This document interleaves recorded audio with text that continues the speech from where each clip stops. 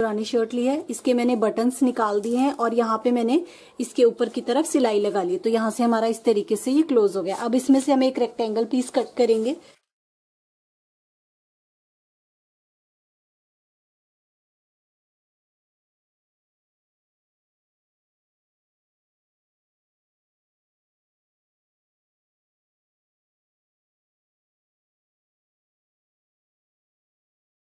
One और two. Two rectangle pieces मैंने cut कर लिए। इसके मेज़रमेंट बता देती हूँ। फिफ्टीन पॉइंट फाइव इंच और ऐसे लिया है मैंने नाइनटीन इंच अब आपको करना क्या है? यहाँ से नीचे वाली तरफ़ से पहले हम इसे सिलाई लगा लेते हैं।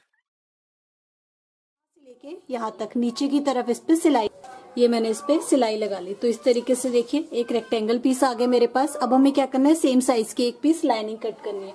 तो लाइनिंग कट करने के लिए इस तरीके से मेरे पास पुरानी ओल्ड कुर्ती है। उसमें से मैं कट कर रही हूँ। कोई भी पुराना कपड़ा हो, आप उसमें से लाइनिंग बना सकते हैं। पुरानी कुर्ती में से सेम साइज़ की मैंने लाइनिंग कट कर ली। यहाँ जोड़ लगाया है। बीच में इस तरीके से प्लास्टिक वाला राइस बैग यूज़ कर रही हूँ। आप कैनवस भी यूज़ कर सकते हैं। फॉर्म शीट कुछ भी आपके पास।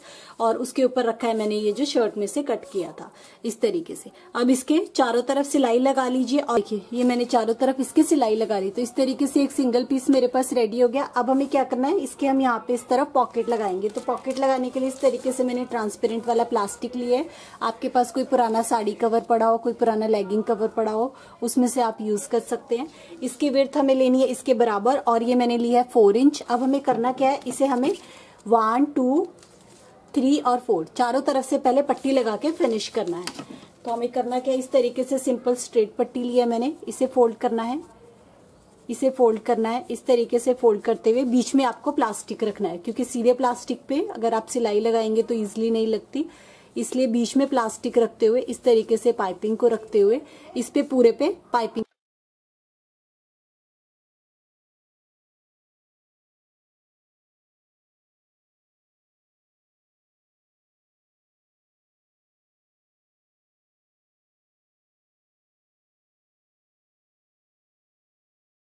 ये देखिए, ये मैंने पाइपिंग से फिनिश कर दिया। अब हमें क्या करना है? इसके साइज़ के हमें दो जिपर चाहिए। एक जिप इसके साथ लगानी है, एक जिप इसके साथ लगानी है। लगानी कैसे? सिंपल जिप रखनी है। हमने ये जो, ये लगाया है, इसे रखना है पट्टी को इस तरीके से ऊपर की तरफ़। यहाँ पे ऊपर की तरफ़ इस पे सिलाई लगा ली। तरीके से सिलाई लगा ली। एक पीस इसके साथ, एक पीस इसके साथ। अब हमें क्या करना है? ये मेन वाला फैब्रिक लेना है। यहाँ से स्टिचिंग के लिए थोड़ा सा इस तरीके से हाफ़ इंच का छोड़ते हुए ये रखना है और फिर इसके ऊपर ये वाला पीस रखना है, इस तरीके से। दोनों पीस रखते हुए यहाँ से लेके, यहाँ से लेके यहाँ तक सिलाई लगा लीजिए और एक सिलाई यहाँ पे इसके ऊपर जिप के ये मैंने इस पे सिलाई लगा ली। एक यहाँ नीचे की तरफ़, एक यहाँ ऊपर की तरफ़ और एक इसके चारों तरफ़। सिलाई लगाने से देखिए इस तरीके से हमारी यहाँ पे पॉकेट सी बन गई। देखिए एक पॉकेट हमारी यहाँ बन गई। यहाँ मैंने ऊपर की तरफ़ सिलाई लगा ली है और एक पॉकेट देखिए हमारी इस तरीके से यहाँ पे बन गई है। तो ये दो पॉकेट्स हमने इसमें बना लिए हैं। अब हमें क्या करना है? अब हम पहले इसके लिए साइड बनाते हैं। तो इसे दो मिनट हम साइड पे रखते हैं और ये जो इस तरीके से बचा हुआ कपड़ा है, इसमें से यहाँ से हम दो स्क्वेयर पीसेस निकालेंगे साइड्स बनाने के लिए। जैसे मैंने दो रेक्टेंगल पीस रेडी कर लिए ये मैंने लिया टेन बाय टेन इंच ऊपर शर्ट का कपड़ा, नीचे लाइनिंग बीच में राइस बैग और उस पर सिलाई लगाई हुई है। अब हमें क्या करना है, इसे किसी भी एक तरफ़ से हम पाइपिंग से फिनिश करेंगे। तो सिंपल स्ट्रेट पट्टी ली है मैंने। यहाँ पे रखना है इसे। उल्टी तरफ़ को रखते हुए किसी भी तरफ़ रख लीजिए। यहाँ से लेके यहाँ तक सिलाई लगा लीजिए। सेम इस तरीके से यहाँ पे सिलाई ये मैंने सिलाई लगा ली। अब इसे दूसरी तरफ़ को पलट दीजिए। इस तरीके से पलटते हुए तो हमारी पाइपिंग से फिनिश हो जाएगा। इसे और इसे दोनों। ये देखिए, ये मैंने पट्टी से फिनिश कर लिया। एक तरफ़ से फिनिश कर लिया जैसे इसे फिनिश किया है वैसे ही इस तरफ़ से और इस तरफ़ से, दोनों तरफ़ से भी इसे फिनिश। मैंने इसे पाइपिंग से फिनिश कर दिया। अभी मैंने एक ही तरफ़ से फिनिश किया जहाँ पे हमने पॉकेट लगाई है। उस तरफ़ से मैंने फिनिश नहीं किया। पहले हम साइड से इसकी एक बार नाप के देख लेते हैं हमारा बराबर है या नहीं। ये हमारा इस तरीके से आएगा। यहाँ से लेके यहाँ तक सिलाई लगेगी। तो इसे एक बार मैं घुमा के नाप के देख लेती हूँ। यहाँ पे फिर फिंगर रखते हुए इसे इस तरीके से घुमा लीजिए। यहाँ पे और फिर मैं इसे एक बार और घुमा लूँगी इस तरीके से यहाँ तक। तो यहाँ पे मैंने निशान लगा लिया। तो ये इतना मेरा एक्स्ट्रा आ रहा है। तो इस टाइम मैं इसे कट कर लूँगी। तो यहाँ से हमारा जितना भी एक्स्ट्रा आ रहा है, इसे हम कट कर लेंगे। तो ये मेरा अप्रोक्सीमेट 1.5 इंच एक्स्ट्रा आ रहा है। तो मैं इसे कट करके अलग कर लेती हूँ। इधर भी एक पाइपिंग की पट्टी लगा ली। ये देखिए, ये मैंने इस तरीके से पट्टी से फिनिश कर दिया। बस अब हमें इसकी साइड एक साइड उस तरफ़, एक इस तरफ़। तो यहाँ से हमें शुरू करना है। किसी भी तरफ़ से आप लगाना शुरू कर लीजिए। यहाँ से सिलाई लगाते हुए, फिर इसे घुमाते हुए यहाँ तक और फिर इस तरीके से इस पे सिलाई लगा लीजिए। तो एक पीस इस तरफ़ लगा लेंगे, एक इस तरफ़ लगा लेंगे।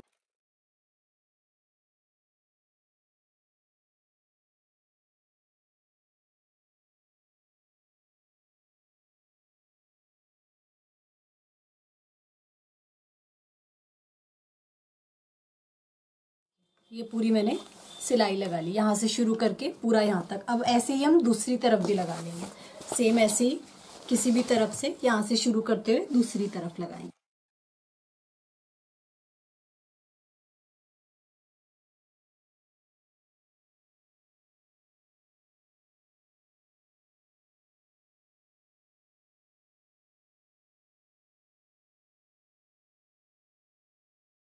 ये देखिए, ये मैंने साइड ज्वाइन कर ली। यहाँ से लेके यहाँ तक, एक इस तरफ़ और एक इस तरफ़। अब इसे सीधा कर लिया। मैंने इसे सीधा कर लिया। तो स्टिफनेस भी देखिए, काफ़ी अच्छी बनी है। इसमें हमने राइस बैग का यूज़ किया इस तरीके से। ये देखिए, यहाँ पे हमारे धागे वगैरह रखने के लिए तो मैं रख के आपको एक बार मशीन में डाल के दिखा देती हूँ। ये देखिए, यहाँ पे इस तरीके से मैंने थ्रेड्स डाल दिए हैं। तो आप थ्रेड्स या कोई भी और भी छोटा मोटा सामान डालना चाहें, इस तरीके से डाल सकते हैं। तो हमने टू पॉकेट्स बनाई थी। दोनों पॉकेट में हमने डाल दिए। देखिए, यहाँ से इस तरीके से, यहाँ से हमारी साइड्स आ गई। इसके फाइनल मेज़रमेंट बता देती हूँ। फाइनल कितना बना है? यहाँ से लेके यहाँ तक इसकी विर्थ मेरे पास आई है एटीन पॉइंट फाइव इंच और यहाँ से लेके यहाँ तक ये यह है 9.5 इंच और इसकी हाइट भी मेरे पास आई है अप्रॉक्सीमेट 9.5 इंच तो ये मैंने थोड़ा बड़े साइज़ का ही बना है अगर आपकी मशीन थोड़ी बड़े साइज़ की है, छोटे साइज़ की है तो उसमें ये इजीली फिट हो जाएगा, क्योंकि साइड से इस तरीके से आ जाता है ये तो आप अपनी मशीन के अकॉर्डिंगली इसे बना सकते हैं। देखिए, बहुत ही सिंपल और इजी तरीके से हम तो बिल्कुल रेडी हो गया है।